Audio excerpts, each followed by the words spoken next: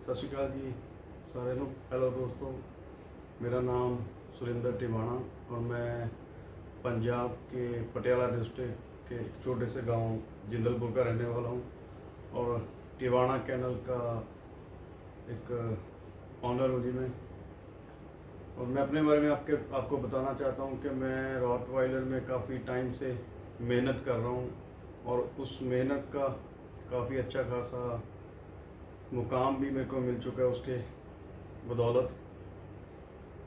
और आज मेरे पास मेरे भाई स्कूबी डू से पहुँचे हैं मेरे गरीब खाने पे। तो मैं उनका बहुत बहुत तहे से शुक्रिया अदा करता हूँ वेलकम बोलता हूँ मेरे पास आने के लिए। और दोस्तों रॉटवाइलर मेरी जान है और जब तक सांस चलेंगे रॉटवाइलर साथ में चलेंगे जी। इसके अलावा लेब्राडोर भी मेरे, मैंने रखे हैं अपने कैनल में। मेरी मेन ब्रीड जो है वो रॉट वाइलर है और रॉट वाइलर की वजह से मेरे को थोड़ी बहुत पहचान मिली है अपने ब्रीडर भाइयों में। आज मैं बहुत खुश हो, खुशी महसूस कर रहा हूँ कि ये भाई साहब मेरे पास आए और साथ में मेरे भाई गुरदीप मान जी आए। तो बहुत अच्छा लग रहा है यहाँ पे जब कोई भाई मिलने आता है। ऐसे और भी भाई, काफ़ी दोस्त आते हैं तो अच्छा फील होता है जी बाकी अगर डॉग्स की बात करें तो मेरे पास तकरीबन पंद्रह साल से मैं रॉट रॉटवाइलर रख रहा हूँ। और मेरे को अपने मुँह से मैं बोलूँगा तो बड़ी बात हो जाती है, लेकिन ऑल ओवर इंडिया में आप, जो भाई भी मेरे साथ मेरे को प्यार करने वाले हैं, या मेरे रॉट वाइलर्स को प्यार करने वाले हैं, वो सभी मेरे को जानते हैं कि सुरेंद्र टिवाणा कौन है। और दूसरा ब्रीड के लिए जो मैंने किया है, वो भी सभी को पता है, और ब्रीड ने जो मेरे को दिया है, वो भी सभी को पता है। बल्कि कोई एक ये नहीं कि मैंने अकेला ब्रीड के लिए कुछ किया। ब्रीड ने मेरे को भी बहुत कुछ दिया, मेरे को एक पहचान दी इस ब्रीड ने। तो ये ब्रीड मेरे दिल के अंदर गहराइयों में है और रहते सांसों तक ये रहेगी भी। और काफ़ी कुत्ते मेरे कैनल में फ़ेमस डॉग रहे हैं जी उनमें से एक पहला डॉग मेरा जो रॉट वाइलर था, उसका नाम था गरेबाज रेजर नाम थे उसका। वैसे पेट ने मैंने योगी रखा था, वो टाइटन का बच्चा था। उसके बाद फिर टोनी फ्लैश रोज आया। और भी बहुत सारे सारे नाम हैं जो अभी मेरे को भी बल्कि पूरे ध्यान में नहीं है, लेकिन सारे डॉग एक से एक वर्ल्ड वाइड फ़ेमस डॉग्स थे वो सारे। और आज की डेट में भगवान की दया से थोड़ा बहुत इस ब्रीड में मैं कर चुका हूँ और आगे और करने की ख्वाहिश है अभी। रॉटवाइलर के साथ साथ मैंने अभी एक नई चीज़ ऐड की है अपने घर में। चीज़ नहीं बोलूँगा, वो भगवान का दिया हुआ तोहफा दिए मेरे घोड़े, मारवाड़ी ब्रीड मैंने अभी रखना शुरू किया रिसेंटली दो तीन साल से। और उनमें भी बढ़िया भगवान ने हाथ पकड़ रखा है मेरा और मैं आपको अपना स्टार्ट फॉर्म और कैनल दोनों चीज़ें आज भाई साहब के माध्यम से दिखाऊँगा जी। और बाकी रही बात दोस्तों पपीज़ की या रॉट डॉग बड़े डॉग की, मेरे पास हर रोज़ एक आधा फ़ोन ऐसा आता है जो बंदा पूछता है कि भाई साहब ये आपकी ब्लड लाइन का है या फिर ये आपके डॉग का बच्चा है। तो उनमें से मैक्सिमम फ़ोन जो होते हैं, जो बायर्स होते हैं, जो उनको बंदे फ़ोन करते हैं, वो फेक होते हैं। वो मिसयूज़ करते हैं हमारे नाम का। तो मैं उन भाइयों को यही रिक्वेस्ट करूँगा कि प्लीज़ ऐसा ना किया करो, क्योंकि जो एक ब्रीडर बंदा होता है, उसको एक नाम बनाने के लिए लाइफ लग जाती है अपनी पूरी। उसके पीछे पता नहीं कितनी ज़्यादा मेहनत होती है, उस बंदे की, खुद की, उसकी फैमिली की, वो कितना पैसा वो बंदा स्पेंड करता है उस चीज़ के लिए। उसके बाद ये ट्रॉफीज आपको जो दिख रही हैं, ये कोई एक दिन में इकट्ठी करी, इकट्ठी नहीं की मैंने। तो इसके पीछे पता नहीं हज़ारों मील मैंने, हज़ारों किलोमीटर मैंने रोड पे गुजारा है, दिन रात मेहनत करी है। तो मैं उन भाइयों से यही रिक्वेस्ट करूँगा कि प्लीज़ किसी का भी, मेरा छोड़ दो, किसी भी अदर ब्रीडर का वो चाहे रॉट वाइलर का है ए बी सी डी किसी भी ब्रीड का हो। तो किसी भी बंदे का प्लीज़ आप नाम का मिस यूज़ ना किया करो, क्योंकि उस चीज़ से उस ब्रीडर को थोड़ी सी उसकी फीलिंग जो होती है हर्ट होती है कि यार मैं दिन रात अपने लिए मर रहा हूँ, अपनी फैमिली के लिए, अपने डॉग के लिए और बंदा मेरा नाम मिस यूज़ कर रहा है और दूसरों बंदों, दूसरे बंदे जो बेचारे जिनको जो नए इस गेम में आते हैं, जिसको नहीं कुछ पता रहता, उनको वो जैसे पंजाबी में या हिंदी में बोल देते हैं कि टोपी डालना, वो ऐसे ही टोपी डालते हैं कि बंदे का दिल टूट जाता है और वो गेम से उठ के दूर हो जाता है। वो बोलता है कि यार नहीं, ये गेम कोई ज़्यादा बढ़िया गेम नहीं है इससे दूर ही बढ़िया है। तो प्लीज़ ऐसा कभी भी ना करना कि किसी को, किसी भी नए बंदे को आप गेम में आने से पहले ही उसका दिल दिखा दो। आज मैं आपको अपने घोड़े, मारवाड़ी घोड़े, उनके बारे में थोड़ा जानकारी आपके साथ शेयर करूँगा और उनकी थोड़ी फ़ोटो या वीडियो जो भी मेरे पास है या लाइव आपको दिखाने की कोशिश करेंगे। हाँ जी दोस्तों, ये एक फ़ीमेल है जी।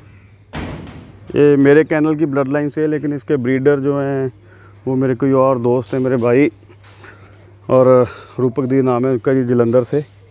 इसकी जो मदर है, वो मेरी ब्रीडिंग की है, और बहुत जीती हुई फीमेल ऑलरेडी जीत रही है वो। इसका जो फादर है, वो भी मेरे कैनल से है, फ्रांस से आया था वो डॉग।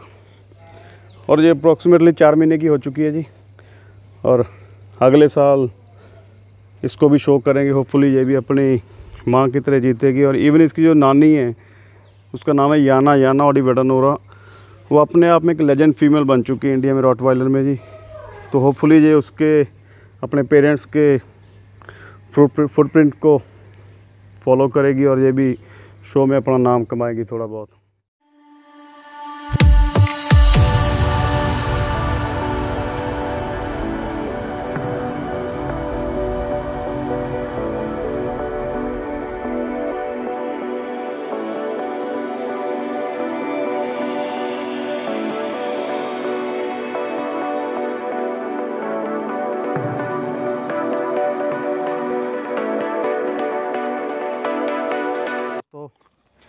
ये मेरा बच्चा है जी, इसका नाम है परमवीर। और अभी तेरह चौदह महीने का हो चुका है जी। और राजस्थान में एक बहुत ही शानदार घोड़ा है। उसका नाम है परमहंस, जो इसका फादर है। और राजस्थान में एक बहुत ही अच्छे घोड़ों के ब्रीडर हैं गजेंद्र पाल सिंह जी पहसाना। उनके पास वो घोड़ा खड़ा है। और इसकी माँ का नाम है जी फूलमाल। और वो फूलमाल लाइन की ही घोड़ी है। बहुत ज़्यादा अच्छी घोड़ी है वो भी। तो ये मारवाड़ी है जी। अभी रिसेंटली मैंने अपने फार्म पे ऐड किया है जिसको अभी आया है थोड़े दिन पहले मेरे पास। तो आ, आने वाले समय में इसको अपना घोड़ों के शो में लेके जाने के लिए तैयार करेंगे कंपटीशन में। तो होप्स हो के जी हमारा वहाँ पे लक चलेगा इसके साथ। और बाकी दोस्तों ये एक रॉयल्टी का साइन है। ये जो मारवाड़ी हैं तो मगर जिस बंदे ने एक बार मारवाड़ी रख ली अपने घर पे, ये सेम रॉटवाइलर का जैसा ही नशा इनमें भी। जिसने एक बार मारवाड़ी रख लिया वो इनके बिना रह नहीं सकता।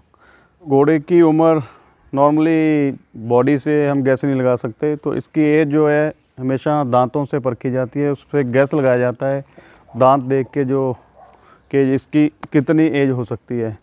तो अभी ये जो बच्चा है, ये मिल्क टीथ है। तो तेरह, चौदह महीने का भी ये हो चुका है ऑलरेडी इसके बाद जब टू टीथ आए, होगा, फिर फिर फोर टीथ जाएगा, फिर आगे पंजारे उसके बाद में जैसे जैसे दांत निकलते हैं एज के हिसाब से दांत निकलते हैं इसके। तो घोड़ों की एज सिर्फ़ दांतों से ही एक गैस लगाया जा सकता है, वो भी कोई एग्जैक्ट मतलब के एज नहीं होती। हाँ जी दोस्तों, ये मेरा घोड़ा है जी।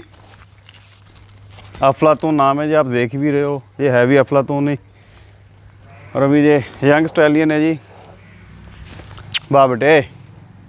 अभी जस्ट जब चार साल का हुआ है ये नौ सितंबर को इसका बर्थ था। और ये एक काफ़ी फ़ेमस घोड़े फतेह का बेटा है जी। और इसका जो दादा है, एडम, वो एक लेजेंडरी घोड़ा था जी। मज्जू के लाइन का, ये मज्जू की लाइन से घोड़ा है जी। हे पुत आप देख रहे हो जी कैसा शैतान है जी पूरा। हाँ।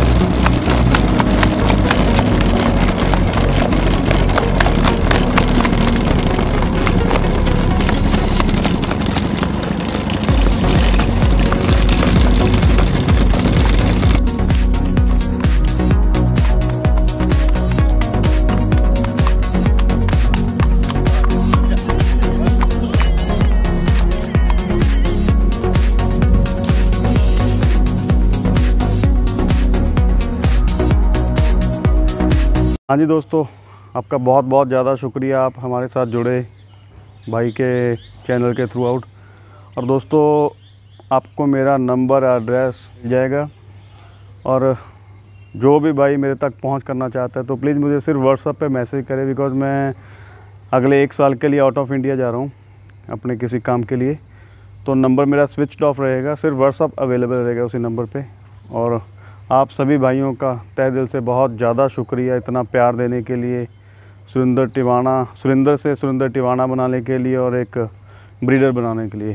Thank you ji thank you very much